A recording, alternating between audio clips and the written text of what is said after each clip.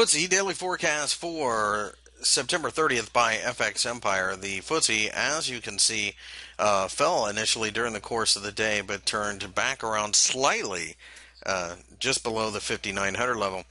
We feel that the market, if we can break above the 6,000 level, is a very bullish sign. It would be buyers in.